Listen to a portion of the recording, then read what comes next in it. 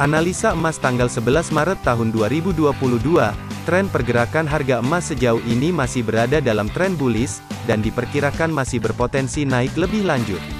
Cermati pergerakan harga emas jika terus bertahan di atas area 1990.24, karena ada potensi harga emas bergerak bullish lebih lanjut ke sekitar area 2009.00. Sebaliknya waspadai jika harga emas bergerak bearish dan bertahan di bawah area 1981.00 karena ada potensi harga emas berbalik bergerak bearish ke sekitar area 1962.24. Sekian analisa forex untuk tanggal 11 Maret tahun 2022.